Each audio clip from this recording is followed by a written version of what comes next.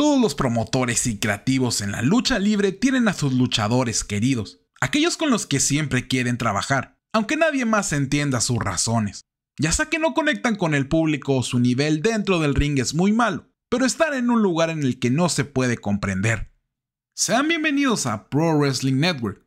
Hoy les presentamos a los luchadores que Triple H parece tener una fijación con ellos y su trabajo, y nadie entiende por qué. Recuerda suscribirte para no perderte nada de nuestro contenido. Y ahora sí, comencemos.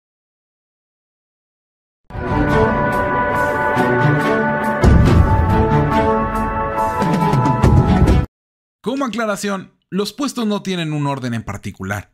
En resumen, es un listado, no un ranking. Carrion Cross. Para empezar con este video tenemos uno de los más claros casos de lo que podríamos definir como fetiche de Triple H. Antes de llegar a la empresa era un luchador limitado, pero que gracias a sus personajes y a que sus rivales se adaptaban a su estilo, pudo hacerse de un nombre en TNA, Triple A y Lucha Underground. Luego llegó a NXT y claramente no era compatible con el estilo que tenía la marca en esos momentos en donde el Work Create era lo principal para destacar y los rivales no iban a dejar de lucirse para ayudar a un competidor tan limitado en el ring, por lo que sería despedido a pesar de forzarlo en la zona alta de la cartelera. Tiempo después regresaría al roster principal bajo el mando de Triple H atacando a Drew McIntyre y dejándole un reloj a Roman Reigns, aunque no llevaría absolutamente nada. En la época de Vince quizá podría haber funcionado, pero ahora es un luchador que estorba en la programación más que aportar. Y no solo eso, ya que en NXT lo forzaban a la zona estelar. Aquí sus planes son secundarios y casi nunca llegan a nada. Mia Jim. Otra luchadora de buen nivel para la división femenina de hace unos años, pero nunca ha podido dar el salto de calidad para convertirse en una luchadora relevante en la empresa. Desde su estilo de lucha hasta sus cientos de nombres diferentes cada que hace su regreso. Simplemente no hay nada interesante que hacer con ella. No hay razón para tenerla bajo contrato, salvo que quizá como entrenadora para las novatas del Performance Center. Pero en el ring no aporta prácticamente nada nuevo y se vio rebasada ya por múltiples generaciones de talentos salidas de NXT. Si su participación se limita a ser carne de cañón para el Royal Rumble, Supongo que puede estar ahí como relleno. Bronson Reed. Este es un luchador que directamente no puedo comprender por qué está en tan alta estima en donde sea que trabaje. No solo en NXT donde comenzó la decadencia de la marca amarilla de 2020, pero también en New Japan, cuando salió despedido y terminó hasta ganando la Kazuchika Okada. Su conexión con el público es prácticamente inexistente, y su físico no es imponente como un mastodonte, es más bien gracioso. Sobre el cuadrilátero nunca ha sido la gran cosa, teniendo combates siempre decentes o para abajo. Ya desde que estaba en NXT podíamos ver que era un consentido de Triple H, pero verlo de regreso simplemente fue algo lamentable dentro de la programación del roster principal. Cuando menos, no ha tenido ningún empuje estelar que pueda manchar un gran show, aunque siempre está listo para estar metido en luchas mediocres. Naya Jax. Cuando Naya Jax llegó a WWE la primera vez nos dejó varios de los peores combates femeninos de los últimos años, pero aún así por su tamaño dominante la mantendrían como parte importante del roster. Incluso una vez lloró porque Alexa Bliss se burló de ella, y la hicieron una underdog de forma muy bizarra. Parecía que nos habíamos librado de los gritos lamentables. Pero Triple H la trajo de regreso. Por suerte no ha estado en la escena titular, pero su mera presencia es algo preocupante. Igual dicen que ha mejorado, sea lo que sea que eso signifique. Dexter Loomis. Otro luchador que vimos primero en NXT como un consentido de Triple H, estando en la facción de D-Way junto a otros luchadores que podrían estar en este video, pero los vamos a omitir porque su participación en el roster tiene mucho más sentido.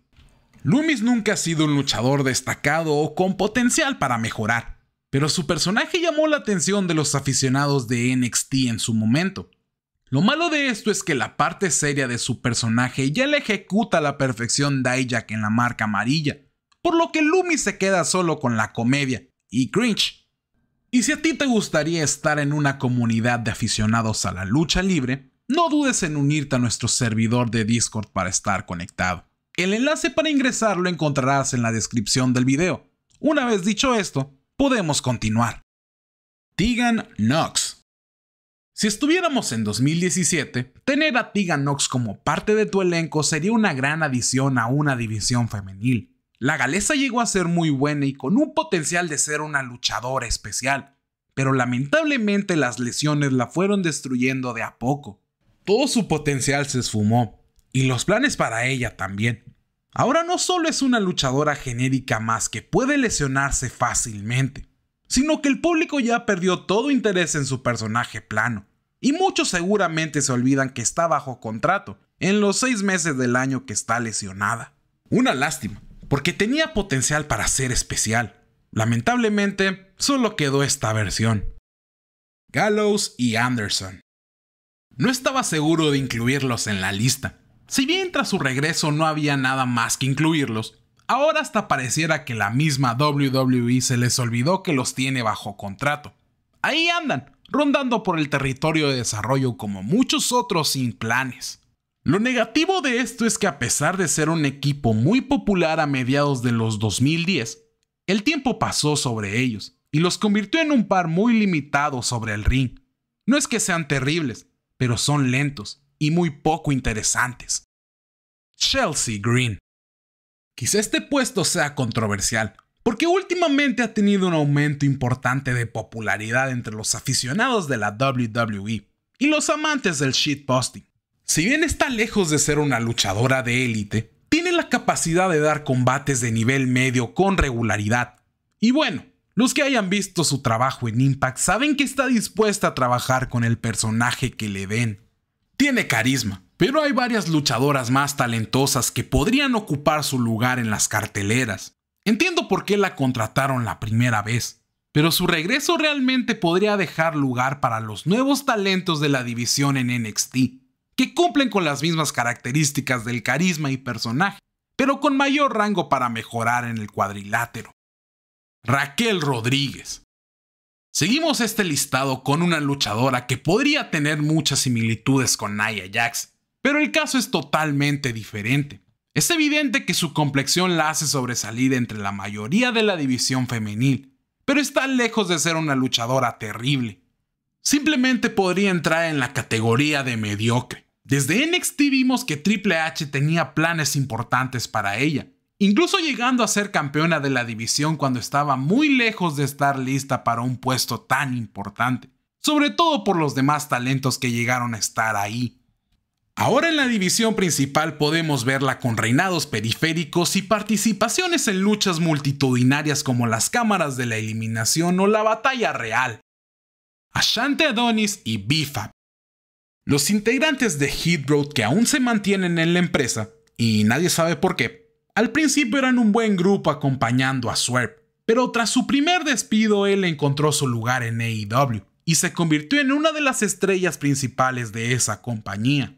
Luego ellos volverían acompañados de Top Dollar SmackDown para no hacer absolutamente nada, salvo el vuelo magistral de Dola que lo llevaría a inmortalizarse en el mundo de la lucha libre profesional. Pero ahí está el problema. Al que recordamos es al que ya despidieron. Y los que se quedaron solo acompañan en backstage la programación semanal de la WWE.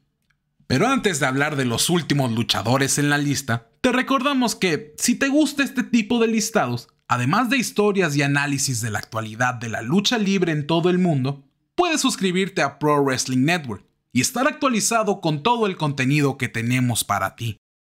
Dakota Kai a partir de aquí tenemos solamente puestos que podrían ser controversiales, así que las estaremos esperando en los comentarios con sus mejores insultos y recomendaciones.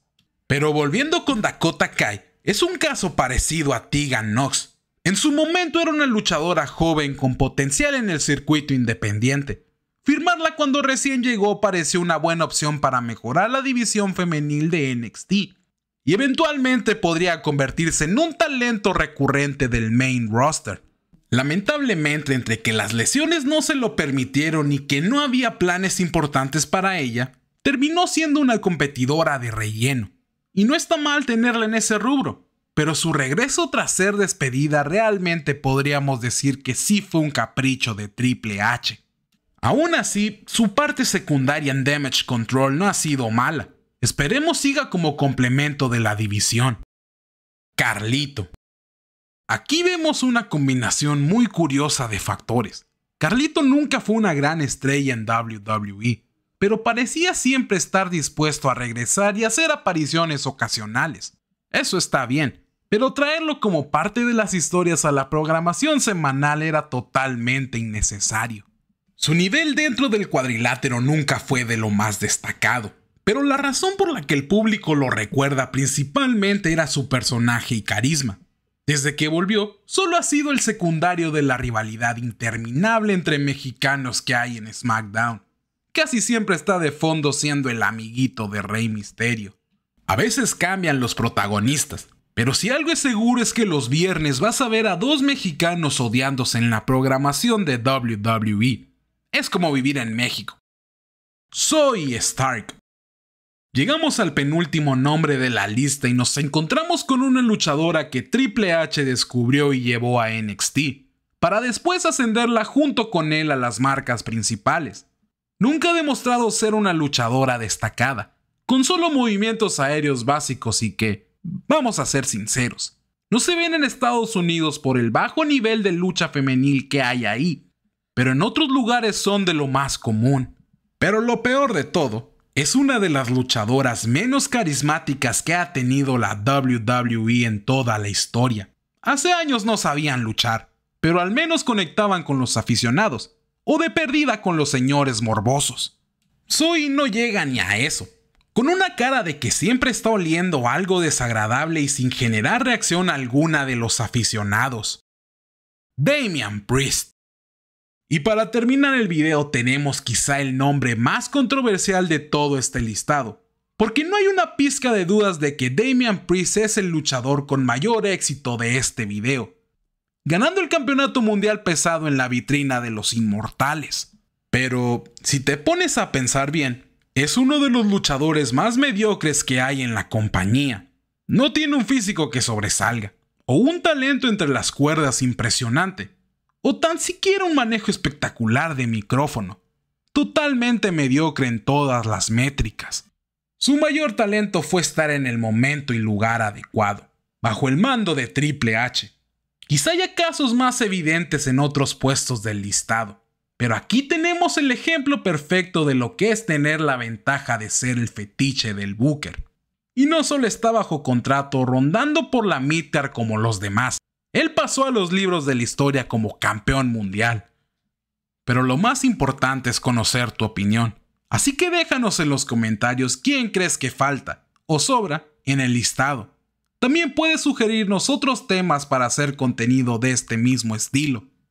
Si te gustó el video puedes dejar tu like, además de suscribirte para no perderte de nada de nuestro contenido. Comparte el video con todos tus amigos y recuerda que puedes unirte al servidor de Discord para estar conectado con la comunidad. Gracias por llegar hasta el final. Nos estaremos viendo en el próximo video. Hasta luego.